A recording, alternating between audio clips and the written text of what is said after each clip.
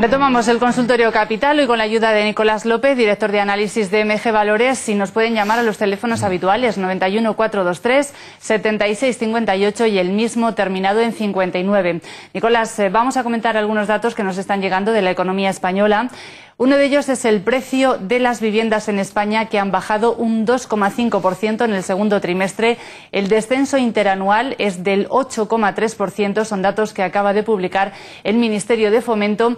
Y los otros eh, que pueden afectar a la cotización de los bancos eh, son las cifras que está ofreciendo en estos momentos el Banco de España sobre cómo se ha comportado la morosidad de la banca española durante el mes de mayo. Natalia Hernández, Bolsa de Madrid, ¿nos lo cuentas?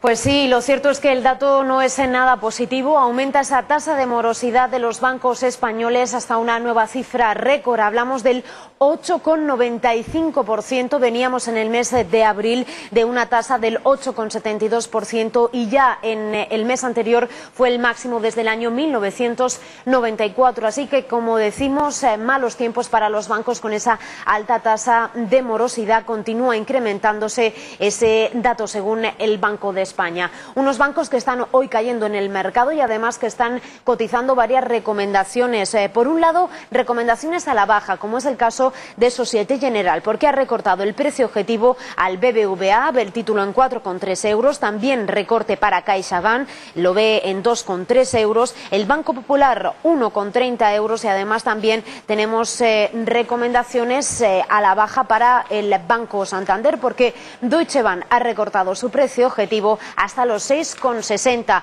Hay precios a la baja y precios al alza, como es el caso de Berenberg. B, el precio objetivo del BBVA con eh, una subida hasta el 5,20 y para el Santander también hacia arriba un 5. En definitiva, muchas recomendaciones eh, coinciden, algunas otras eh, no. Y mientras tanto, los bancos esperan ese viernes ese memorándum de entendimiento y el ministro de Finanzas alemán pues está diciendo ya que el gobierno español, no sus bancos, serán los responsables de esa línea de crédito, de ese rescate a las entidades financieras. Gracias, Natalia. Bueno, mensajes eh, por un lado, luego el contrario. En fin, no sabemos ni a qué atenernos, Nicolás. Vamos a comentar esos datos, los últimos. Tasa de morosidad 8,95 en el mes de mayo. Precios de la vivienda que siguen bajando en tasa interanual un 8,3%.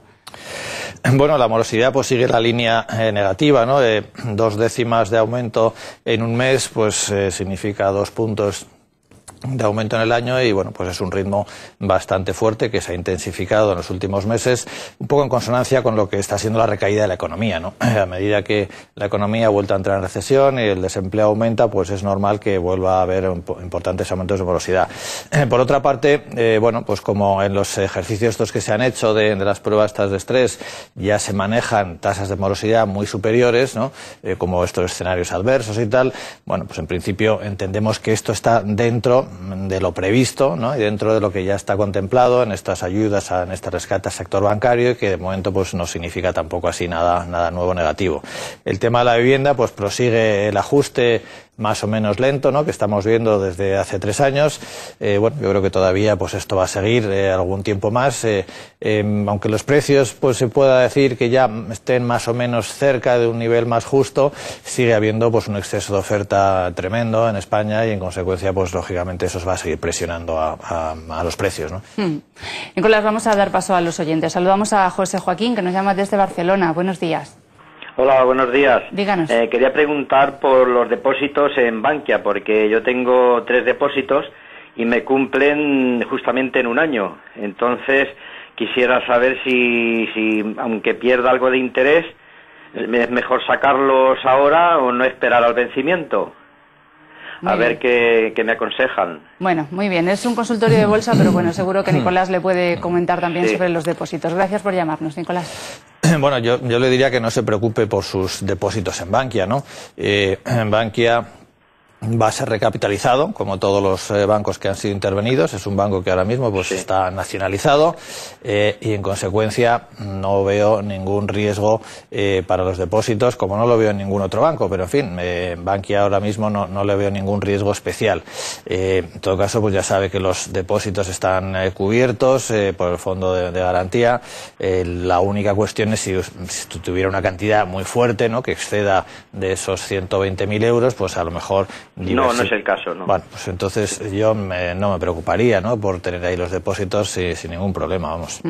Muy bien, pues eh, vamos a hacer un repaso en estos momentos por cómo está la situación en las bolsas europeas, porque hoy además han comenzado a publicarse ya bastantes resultados empresariales importantes, entre ellos Credit Suisse, ASML o Ericsson, que ha decepcionado. ¿Cómo se están cotizando todas esas cuentas? Guillermo Uribe, buenos días. Buenos días, Sandra. Pues las bolsas europeas que siguen subiendo, aunque en rangos muy moderados, y los movimientos más destacados precisamente son de estos resultados eh, empresariales. Destacamos los de Credit Suisse, que ha conseguido un beneficio neto que ha subido ligeramente hasta 788 millones de francos suizos, aunque lo que esperaba el mercado eran sus planes para conseguir esos eh, niveles de capital que le estaba exigiendo el Banco Central de Suiza y también la Autoridad Bancaria Europea. Al final, eh, ahorro, incrementa el ahorro de costes hasta 3.000 millones de francos suizos desde los 2.000 anteriores y además va a emitir 3.800 millones en los denominados cocos, bonos convertibles eh, contingentes, algo que está celebrando el mercado porque se anota ya más de un 5,5%. Eh, también están subiendo los títulos del fabricante de semiconductores holandés ASML, un beneficio neto de 292 millones de euros por encima de lo esperado y además dice que está eh, en línea para conseguir los objetivos anuales, anota un 0,2%. El contrapunto lo está poniendo Ericsson, su beneficio neto ha caído un 64% hasta 158 millones de dólares por debajo de lo esperado por la mayor debilidad económica en Europa y la caída de la actividad en China, eh, su, sí que ha superado las estimaciones en ventas que han alcanzado los 55.300 millones de coronas, subiendo un 1% y la compañía que se está viendo castigada en bolsa porque está cayendo un 3,8%. Mañana esperamos también los de Nokia, que se esperan pérdidas superiores para el segundo trimestre, incluso a las que obtuvo en el primer trimestre. Ayer se dejaba un 7,8% en bolsa y hoy está siendo de nuevo el peor valor dentro del Eurostock 50 porque está dejándose ya un 4% de nuevo.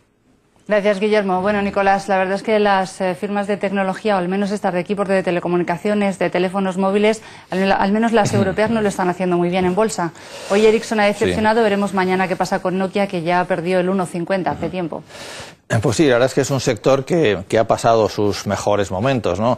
Eh, claramente fueron compañías que a finales eh, de los 90 pues tuvieron un boom extraordinario, pero en este mundo de la tecnología pues los éxitos no duran mucho, ¿no? Y, y ahora pues el, teléfono móvil pues está siendo sustituido por los smartphones, por las tabletas y de alguna manera pues las ventas han caído mucho, hay muchos más competidores que antes, los precios son mucho más bajos, en definitiva pues es el clásico eh, boom y declive ¿no? de un sector que, en general es algo consustancial en la economía. Lo que pasa que en, este tipo de sectores tecnológicos ese proceso es muy rápido, ¿no? una subida eh, fortísima y ahora pues un declive que realmente eh, pues todavía no le vemos fin. ¿no? A las once y cuarto estará con nosotros eh, aquí en Capital el consejero delegado de Ericsson España, Ingemar Naeve. Preguntaremos sobre estos eh, resultados. Vamos a saludar a Arturo, que nos llama desde Almería. Arturo, buenos días. Hola, buenos días. Díganos. Eh, quería preguntarle al señor López sobre las acciones que tengo de Gamesa con vistas a largo plazo, pero las tengo compradas a, a 2,80 y bueno, a ver qué podría decirme él, porque había estado pensado en cambiarme Iberdrola, pues a ver qué me dice. Muchas gracias. Gracias a usted. Pues Gamesa esta mañana está bajando un 1%, está en 1,25 euros. Bueno, es que son dos perfiles de inversión muy diferentes, ¿no? Eh, eh, pasarse ahora a Iberdrola, pues es entrar en una compañía eh, mucho más previsible, más estable, con menos potencial de recuperación, si es que el día que esto empiece a mejorar y se dé la vuelta, con menos riesgo, con un buen dividendo, eh, eh, yo entiendo que estar en Gamesa con esta caída pues es difícil de, soportar, ¿no? Uno va viendo las pérdidas como crecen y además pues no le vemos ahora mismo claramente dónde puede estar el, punto de inflexión, ¿no? El sector sigue estando muy complicado para, para Gamesa, en consecuencia es mantener una inversión de alto riesgo con la posibilidad de que en algún momento pues pueda tener una recuperación fuerte y pueda uno recuperar el dinero.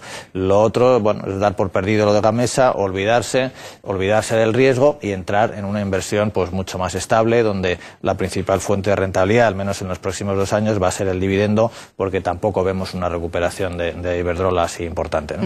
Nicolás, hemos llegado al final del consultorio, pero tenemos tiempo para las recomendaciones. Minuto de oro. Bueno, pues seguimos nosotros viendo un panorama eh, eh, complicado de aquí a fin de año, ¿no? Creemos que eh, hasta, hasta el año que viene no vamos a tener visibilidad, no solo en España, también un poco en general en la economía mundial, ¿no? Sobre si esta pequeña desaceleración pues va a ser algo más importante o bien pues nos vamos a mantener en una fase expansiva. Entonces estamos más bien en, en una fase defensiva, de espera. Favorecemos sectores y valores de perfil defensivo en espera que posiblemente posiblemente en esta segunda parte del año haya alguna corrección un poco más importante que permita volver a valores de más riesgo. Nicolás López, director de análisis de MG Valores, muchísimas gracias, como siempre, y hasta la próxima.